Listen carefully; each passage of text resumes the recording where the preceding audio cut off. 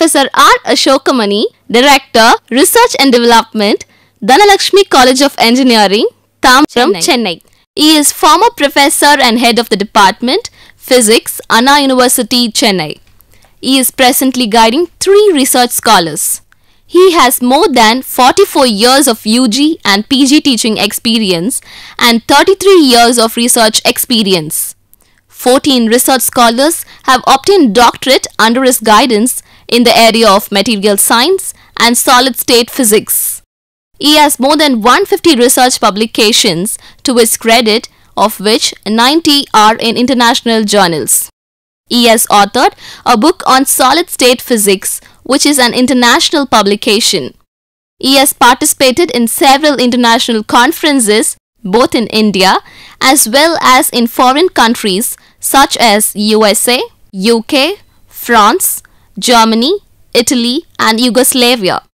He has been a guest scientist at ICTP, Italy, several times. He is a fellow and treasurer of Tamil Nadu Academy of Sciences.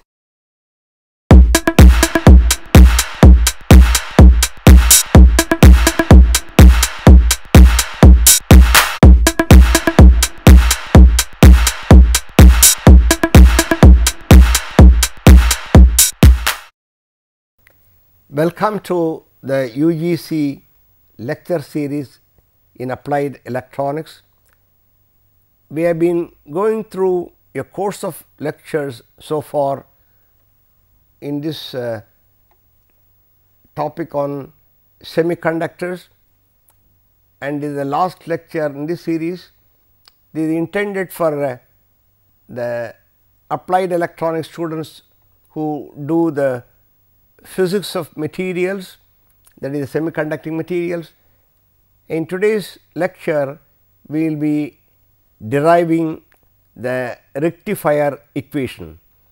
You know rectification is nothing but a alternating current being converted into a direct current.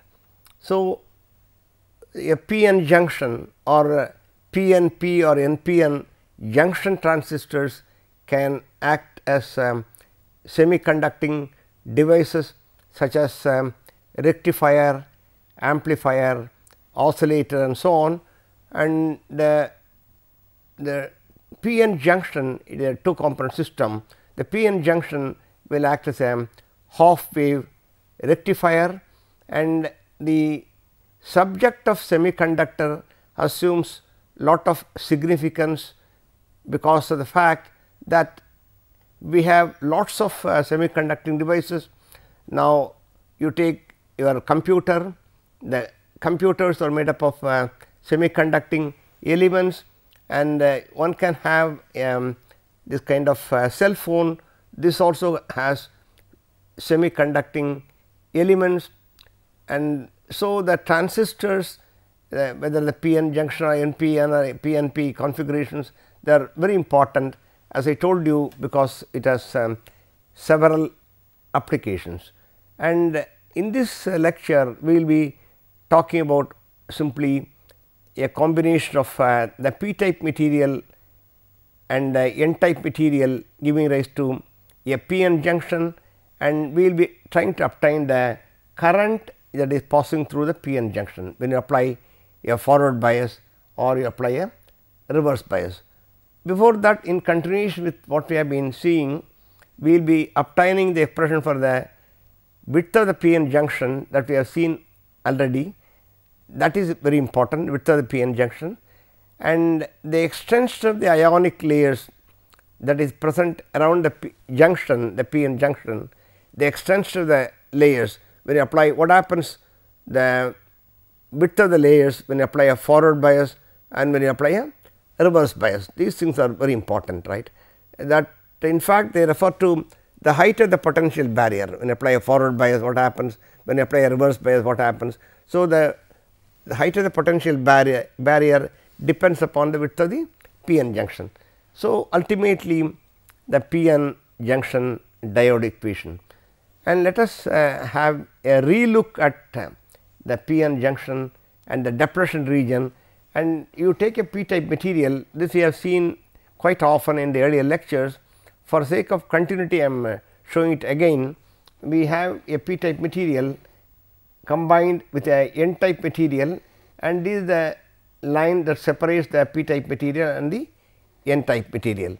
As you be knowing by now, when you combine the p side material and n type material, when these two materials are combined, there will be flow of the majority carriers from both sides and because the flow of the carriers what will happen is the electrons will combine the holes ultimately leaving ionic layers. You have got uh, the negative ions on one side and positive ions on the other side and so you have um, a number of ionic layers on either side of the p n junction. This is the p n junction, the junction region on either side of the connecting region. There will be a set of ionic layers right and you have got uh, positive ions here, negative ions here and this width that you have got here is called the depletion region and it is called depletion region because it is depleted of free carriers. You have free carriers here. What is n type? A n type semiconductor is one which has electrons as majority carriers and so you got electrons here, the free electrons are available here. And on the other hand in the p type material the majority carriers are holes. They are found here right? The holes are free holes are here. Free electrons are here. Look at this region. This region does not have the free electrons or the free holes it is free from the free carriers that is the reason why it is called the depletion region and the depletion region plays a very important role in controlling the current that will flow across the p n junction. So, the important point is the depletion region, the width of the depletion region or the that leads to the height of the potential barrier. For instance, if I say the depletion region on this region becomes very large instead of 2 ionic layers, suppose you have got 4 ionic layers, what is the meaning of that? So, you have got a hole here, if a hole comes here, now this hole which is present here will experience a force of repulsion right? Because the ions are positively charged and the hole is positively charged. And so this hole will experience a repulsive potential by the exerted by these layers right these you got two layers here. Now as i told you if you have got four layers what will happen? The repulsive potential experienced by the hole will become much larger. As the the width of the junction the width of the ionic layers when it becomes larger and larger the repulsive potential will become larger. On the other hand if the width becomes smaller what will happen? Supposing you got instead of two layers you got only one layer then if a hole comes then the hole will experience a lesser repulsive potential. Now, at this point I want you to think the other case namely on the p side the holes are majority carriers. What about the minority carriers which are not shown in the picture?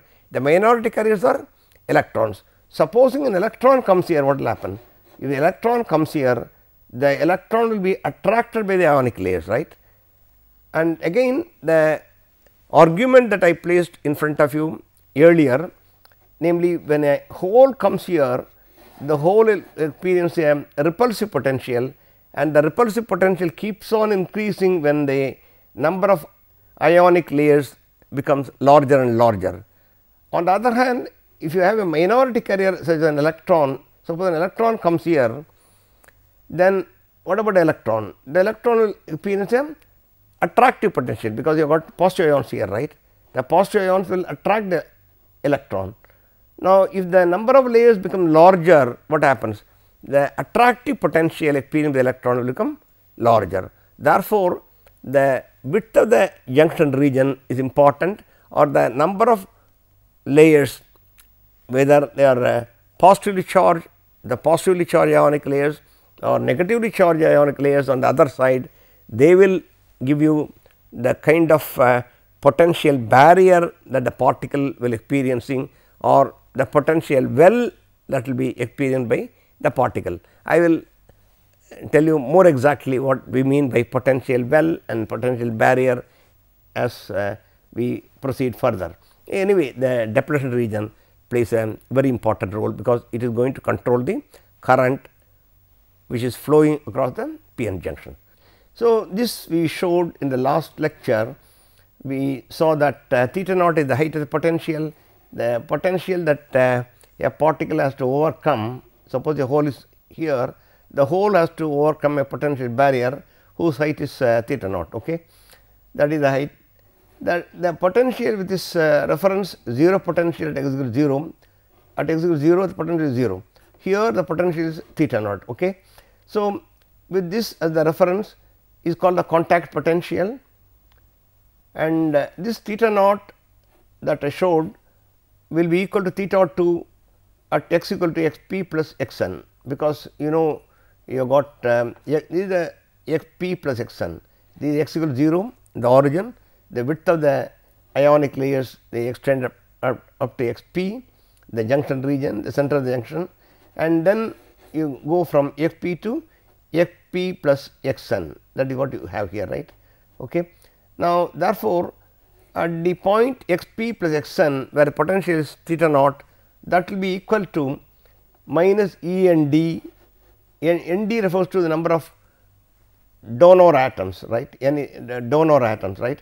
X p plus x n to the power of 2 that is the x p plus x n refers to the width of the junction region by 2 epsilon plus E into x p by epsilon into n a plus n d that is the number of uh, acceptor atoms plus the number of donor atoms multiplied by x p plus x n minus E into x p square by 2 epsilon into n a plus n d, where n a and n d again are the number of acceptor atoms and the number of donor atoms. Acceptors are the one that uh, give rise to holes and the donors will donate the electrons. When no external voltage is applied, the total current I will be equal to 0. What is the total current? The total current is made up of I 1 I 2, I 3 and I 4. So, therefore, I will be the sum of I 1, I 2, I 3 and I 4 that will be equal to 0. What are I 1 and I 2? They are the majority carrier currents, the currents due to holes from p type to n type.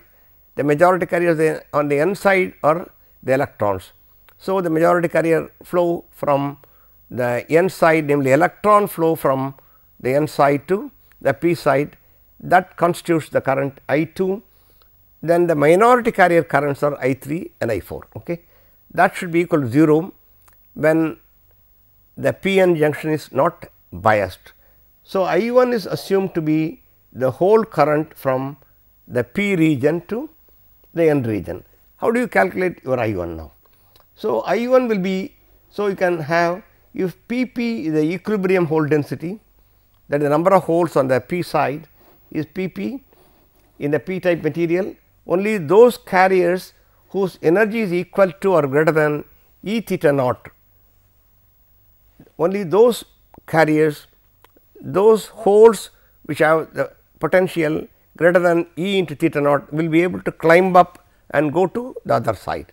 So, how many will come up come to the other side. So, I 1 will be given by or directly proportional to P p the hole density multiplied by e to the power of minus e theta naught by k t. E theta naught by k t is nothing like um, e to the power of minus, minus w by k t or e to the power of minus e by k t that you would have come across in the Boltzmann statistics. Under the conditions of temperature that you have got here, it is enough if you apply the, the Maxwell Boltzmann statistics that is what we are doing here. We are applying the Maxwell Boltzmann statistics and so we now say the number of holes that will be flowing from this p side to n side will be given by the expression which I showed earlier. What is P p? P p is the hole density that you have got here on the p side, p refers to holes and p type. So, we have P p, you have got a p type material, we are talking about majority carriers which are holes that are and so the positive particles on the p side that is a pp the hole density out of pp holes how many will be able to go to the n side is given by an expression of this kind okay. and C 1 is the proportionality constant. So, we have the expression I 1 is equal to C 1 times the expression that you have got here. At this point we will have a break and we will pass on to other contributions after the break.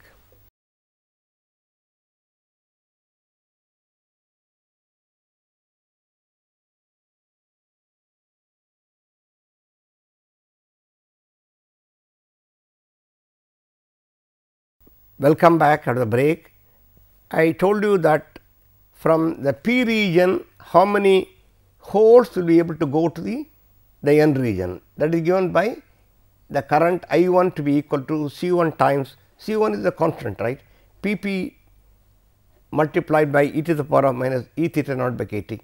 A similar expression will be there for I 2 also, because again they are the majority carriers that is for electrons going from the n n that is the electrons going from the this side the n region to the p region. So, I 2 will be C 2 times n n e to the power of minus e theta naught by k t. Okay. That is the number of electrons that you have got the electron density is n n. Out of n n electrons how many will be able to go to from the n region to the p region is given by I 2. Okay. Now, the electrons have to overcome the barrier the point that uh, should be understood is the there is opposing potential the electron will experience a repulsive potential it has to overcome the barrier. So, whereas I 3 and I 4 are the minority carrier currents. What do you mean by potential barrier? What I mean by potential barrier is the following. If you have a particle here, it may be electron, a hole or a classical system and now the particle wants to go from this region to this region. This is the p region this may be the n region and is the uh, you know the width of the p n junction. So, this has to overcome the barrier right has to overcome the barrier on the other hand is called a potential barrier. On the other hand we have what is called a potential well. What is a potential well? You have the ground below that ground you suppose you dug a well you have a well here and then that is a potential well it is a, attractive potential. Okay. Now, this is a potential well, these are the other the other way around. It is a potential barrier. The opposite of uh, potential well is the, the opposing potential is attractive potential right? The potential well. So, uh, for the minority carrier the, there will be potential well because uh, the electron will be facing a number of uh, positive ionic layers. As I told you the minority carriers here on the electrons. When the electron comes here it will be facing positively charged ionic layers you got positive ions. So, the electron will be attracted by positive ions. Similarly, the hole you got a elect you got a electron here this electron uh, you have here it will be facing a, a repulsive potential by the ions, but uh, for the minority carrier you have a hole here the minority carrier hole will experience a attraction. Similarly, a minority carrier electron will experience a attraction. So, the currents coming from minority carriers are simply proportional to the density whatever electrons you have got they will simply flow into the, the other region. Therefore, the minority carrier currents or uh, I 3 will be directly proportional to N p. N is the number of electrons on the p side and similarly the number of uh, uh, holes on the n side. So, the minority carriers currents will be simply directly proportional to the number density. So, when the number number of electrons on the p side n p will give rise to I 3 the more number of uh, I mean the holes are there then be more number of currents that is I 4. So, these minority carrier currents are simply directly proportional to the number density. So, P p and N p are the electron and hole concentrations on the p and n sides.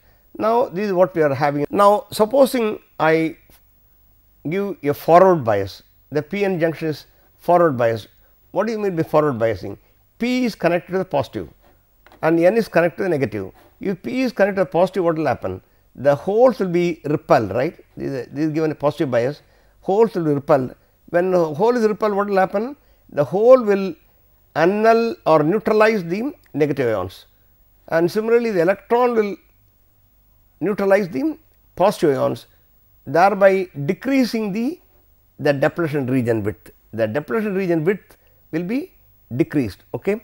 The point to be understood is when you apply a forward bias you, P is uh, given a positive bias N is connected to the negative side of the battery thereby electrons will be repelled from here this end.